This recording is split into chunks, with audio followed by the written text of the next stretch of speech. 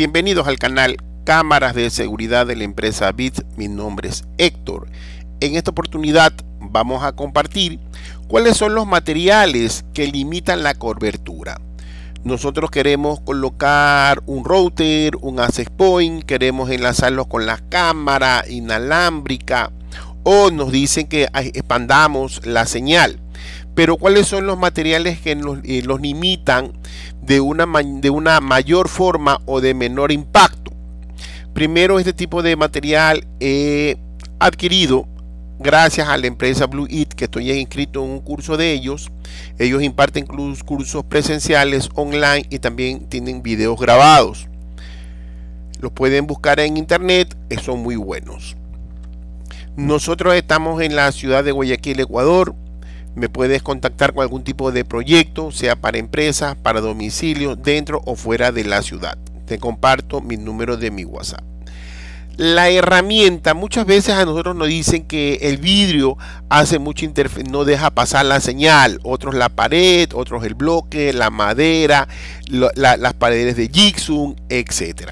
Vamos a, ver una herramienta eh, de Unify para que nos verifique Supongamos que nosotros tenemos este tipo de plano y nosotros vamos a colocar un access point. Puede ser el access point de 2.5 o puede ser de, de 2.4 o de 5 GHz. Pero para que entender antes en sí el impacto que tiene los diferentes tipos de materiales, si yo coloco un access point de 2.4 fíjense en cómo es la cobertura. Lo que está en rojo es lo que tiene mayor potencia y poco a poco va a ir es perdiendo fuerza. Esto es siempre y cuando sea un área amplia por ejemplo un galpón un parque que no tengas ningún tipo de impedimento. Aquí tenemos en cambio uno de 5 GHz si se dan cuenta el de 5 tiene menor alcance.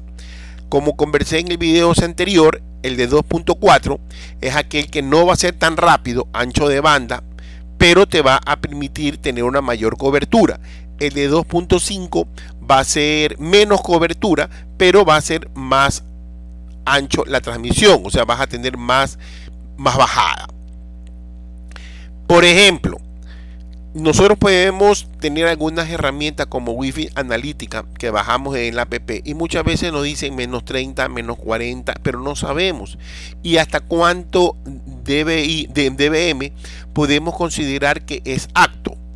Nosotros podemos tener 30, menos 30 es una muy buena, una buena métrica. Menos 50 es aceptable, significa que sí puedes navegar, puedes hacer una videollamada, sí puedes trabajar bien menos 60 va mermando, va mermando, menos 70 ya es el límite. Si tú analizas la señal y tienes menos 70, significa para abajo, menos 50, menos 40, menos 30, es, es bueno. Hasta 70 se puede decir que es aceptable, vas a poder chatear, vas a poder mandar mensajes. Si haces una videollamada se te va a cortar, vas a tener muy lenta. Eso hay que tomar en consideración. Menos 75 ya prácticamente eh, puedes máximo es escribir en el WhatsApp si te conectas, mandar mensajes de texto, siempre y cuando consumas muy poquito ancho de banda. Con respecto a las a los materiales, nosotros vamos, colocamos una cama, un, un repetidor y tenemos madera, puede ser closet, puede ser puertas, puede ser pared de madera, etcétera. ¿Cómo me influye? A través de esta herramienta que es de, de vamos a tener madera y tenemos este tipo de cobertura. Si yo coloco madera, madera, madera, madera, yo me doy cuenta que sí me impacta en la señal. Sí me impacta en la señal. Sí me impacta en la señal. Es como yo hubiera estado en el lado de acá o sea, sí tiene un impacto medio alto. Medio alto. Entonces hay que considerar que cuando yo pongo un access point o un router y yo tengo muchas puertas, no me va a pasar la señal. Cuando yo tengo concreto, muchas veces nosotros la arrimamos en la pared, ¿no verdad? La arrimamos y lo encerramos. Lo, lo encerramos.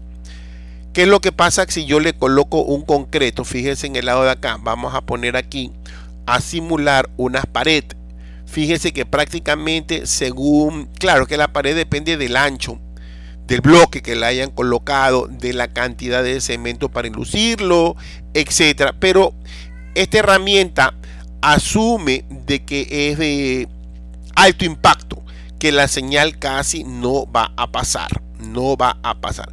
Los paneles de yeso muchas veces utilizan esto en las clínicas, en los dispensarios para poder es crear las diferentes áreas, los paneles de yeso a través de esta herramienta. Yo me percato aquí, pongo un panel de, está baja la señal y si le pongo el panel de yeso, fíjense que me lo va a disminuir. Recuerden que está de color verde y pasó a color celeste. Si me impacta, si me impacta, es un impacto medio alto, medio alto. Cuando es ladrillo, cuando es ladrillo, en este caso, cuando es ladrillo, fíjense aquí, yo pongo la pared de ladrillo, es equivalente a haber puesto una pared de cemento. Prácticamente es lo mismo. Fíjense que está aquí. Esta área se le pone la pared de, ladrillo, es prácticamente igual. Tenemos ladrillo, pared de yeso, tenemos concreto, tenemos madera. Eso es lo que estamos analizando hasta este momento. Con respecto al vidrio, yo también estaba equivocado, porque muchas veces dentro de los gabinetes nos sucede, dentro de los racks de pared, de techo, etcétera, viene con vidrio y uno piensa que colocarlo el router dentro de, ojo, pero también impacta lo que viene a ser el metal. El metal también es de alto impacto hay que intentar colocar las antenas delante de eh, pegado al vidrio. El vidrio, si yo analizo lo que corresponde al vidrio, el vidrio, fíjense, es de bajo impacto. Tienes que tomar también en cuenta lo que viene a ser los metales. Cuando los cierras, también es de alto impacto. Haciendo un resumen, en conclusión podemos decir que la madera es medio alto. Concreto es alto. Yeso es medio. Ladrillo es alto. El vidrio es bajo. Entonces, cuando tú coloques un repetidor, un access point donde hay muchos vidrios, no te va, te va a mermar, pero no tanto si comparas a una pared de concreto o una pared de ladrillo. Si es una pared de yeso, es medio. Bueno, espero que te haya gustado nuestro pequeño tutorial. Nosotros estamos en Guayaquil, Ecuador. Si tienes algún tipo de proyecto, me puedes escribir. Saludos.